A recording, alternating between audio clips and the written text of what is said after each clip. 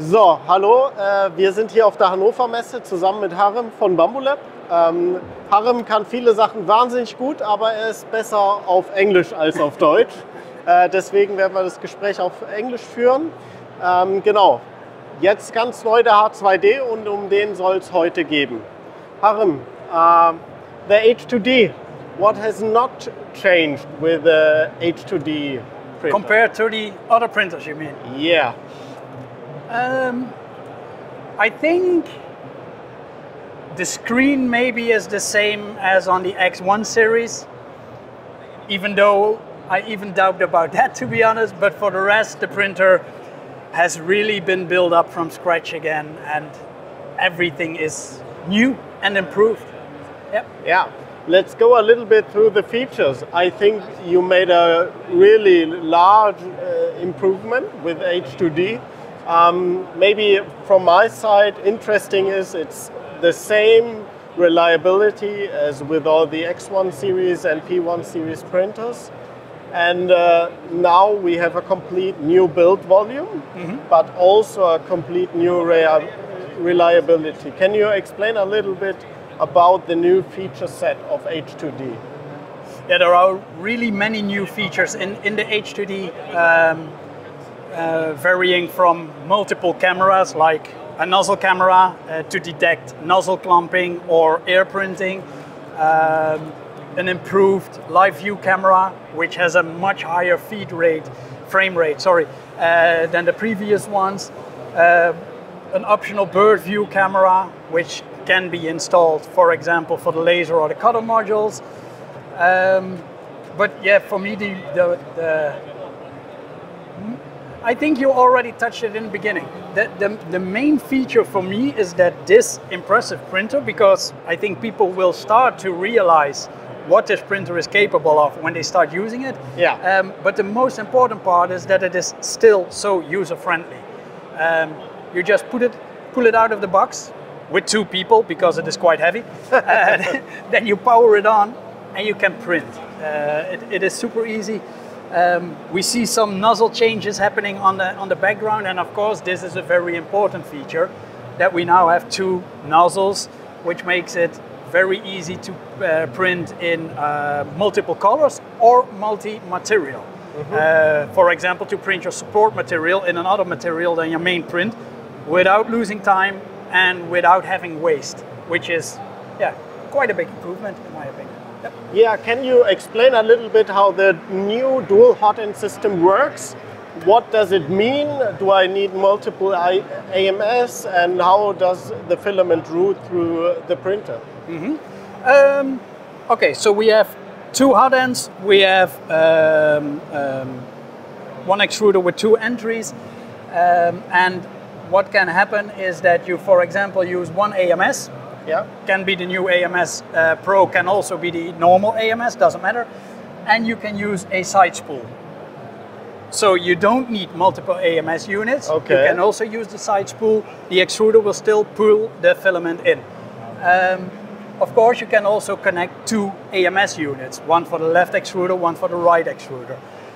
Then the filament will be lo- loaded in the, uh, in the extruder and the inactive extruder will uh, retract at the moment that it is not in use. There will be a flow stopper blocking any uh, excessive flow and the um, extruder which, uh, sorry, hot end which needs to be used will start printing like it does now probably. Um, then when the change is happening, the um, the nozzle will wipe, uh, so there is still a wipe tower just to remove any excessive filament from the tip of the nozzle. Then it will park, so the nozzle uh, flow blocker will be under it. The other uh, hot end will lower, and it will start. Uh, it will continue to print. Yeah. That's in a nutshell how it uh, how it works. That's really great information. So what I saw when we uh, lifted it out in our office out of the box was it is a tremendous build quality. Can you explain a little bit what materials are used, what, what are the outstanding parts in the printer, what really makes the reliability go such on a such new level? Um, yeah, the uh, the materials used in the printer depend a little bit on the model you choose because for this model you have the glass doors. For example, when you go for the laser model, uh, it will all be with, with, with acrylic, with plexiglass. Um, so the outer shell can, uh, the product in the outer shell can depend a little bit depending on the model.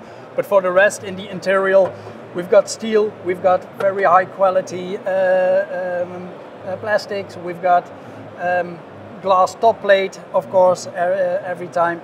But you can also see a lot of structural improvements in the printer to uh, work with this large size, but still maintain the high speed. For example, those metal parts, frame parts in the back and on the sides, mm.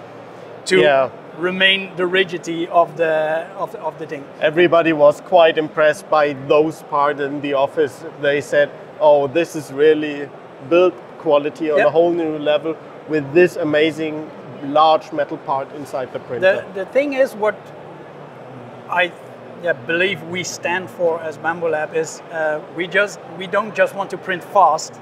Yeah. It has to be good. We yeah. want good quality prints. And everybody has been asking for a larger build volume since the X1 series came out. Uh, and we said from the beginning, it is not like just scaling the build plate. A lot more has to happen. And all these things which are implemented in this printer were needed to be able to print high speed with high quality. Uh, that's that's what we are really aiming for. Yep.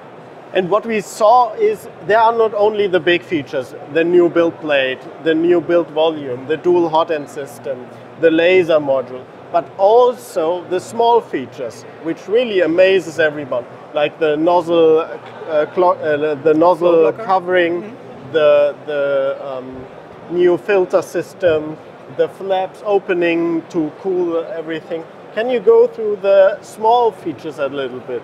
There are really many uh, small features. I mean, the, the complete new structure of um, uh, wiping the hot end, for example.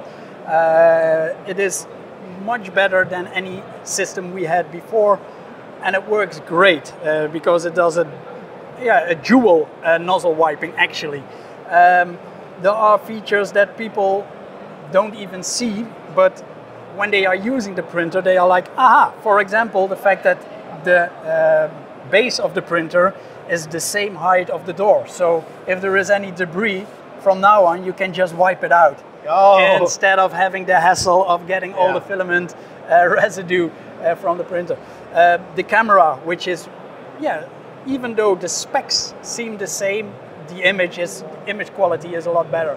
Uh, the air filtration, um, for example, when you start printing a high temp filament, the um, shutters on the back will close and there will be an internal filtration only, um, which yeah, also is something to improve the heating of the chamber, for example. So there are very many small things which will make a big impact. Yeah.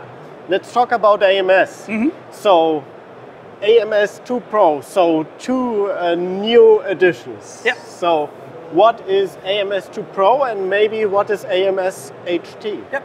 AMS 2 Pro is uh, the version 2 of the AMS and we went Pro. Uh, no. Um, so what we can do now is we can not just heat the filament, but we can dry the filament. Yeah. Meaning that there is a uh, drying functionality built in in the printer for the moment only when the print uh, when the AMS is not in use. Uh, meaning if you have a multi AMS setup, uh, what will happen is uh, that if you have a AMS which is not in the printing process, you can use it to dry. But if the AMS is in the printing process, you cannot use the drying function. The drying function is not just heating. The drying function is really drying because it will uh, pull in air and it will exhaust the moistured air. So it is really active drying. Uh, aside from that, the spools will auto-rotate during the drying process to make sure that yeah. there is an even distribution of the heat. The AMS2 Pro will heat up to 65 degrees, which is okay for your normal filaments. The AMS HT, uh, high temperature, uh, is a single uh, module uh, AMS, a single spool AMS, and it will go up to 85 degrees. Um, you can start the drying process from the screen of the printer. Um, important to know is that the AMS HT is not a standalone dryer. So it has to be hooked onto the printer and it has to be controlled by the printer. That's something people do need to realize. Cool. Let's talk about lasers. So, so far we only talked about the amazing new printing capabilities, but it's not only a printer anymore. Can no. you explain me a little bit why yeah, it's we, a manufacturing we, hub? Yeah, we see it as your personal manufacturer hub. Uh, th this is what the H2D uh, stands for uh, and what we aim for. So the goal is to make it possible for uh, people to have uh, to use one machine for multiple purposes. Like you said, of course, it can 3D print, which is our main, by far, our main feature. Um, but you can also either buy or upgrade to a uh, laser model, uh, which will incorporate a laser module, either 10 watts or 40 watts, uh, and a digital cutter. Uh, so a, a, cutting knife uh, which you can attach to the tool head.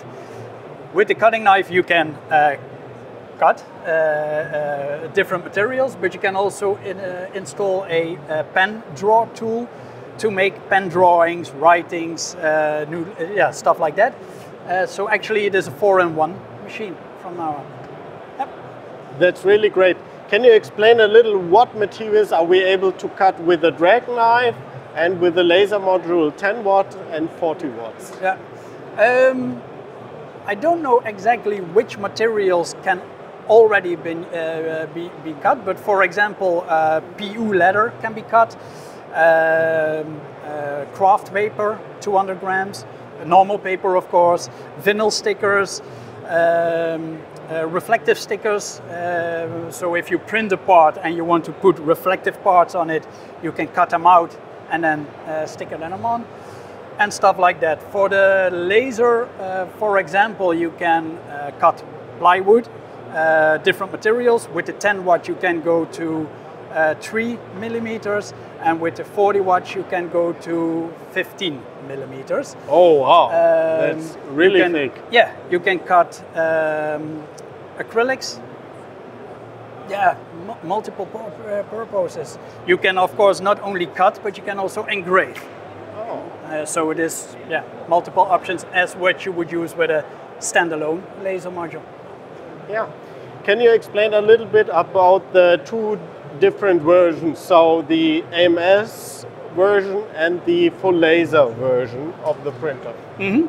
The full laser, yeah. So if we check this one, it has the normal door. Uh, normal side panels, meaning normal, which are a little bit, uh, yeah, not 100% translucent, but a little bit dimmed. Uh, but the uh, laser version will have acrylic uh, plates in them, which are green to block out any laser lights. The laser version will have a uh, emergency button, which you connect on the right side of the printer um, to have an emergency stop if something goes wrong. Um, also, important is that um, there are four uh, flame detection sensors built in in the printer. Oh wow! So if there is any emergency, the printer, uh, if there is any fire, the printer will detect it. What it will do is it will um, close itself, so it will make sure that the exhaust will be closed, so that no fire will exit the printer through the exhaust, and the um, yeah fire can be contaminated inside. At a later stage, there will even be a optional fire extinguish system which can be connected to the printer. Um, yeah, in case anything would uh, would happen there. So yeah, multiple additional features when you have the H2DL, uh, which is the laser version. Also, the laser version has a uh, air pump, an air assist pump installed, uh, which blows uh, high pressure air on the lasered part during lasering uh, to clean and cool the part which is being lasered. If you upgrade from one model to the other, all the parts are interchangeable, meaning that you can change the door, the side panels. The air assist pump will be a unit which has to be uh, externally built instead of being built in the printer when you buy the H2DL. Yeah. Cool. Really nice overview about the new H2D and H2DL. We really appreciate your work and all the work that the Bambu Lab team in Shenzhen has done. And uh, yeah, thank you for having us and uh, joining us here at Hannover Messe. Most welcome. Thank you.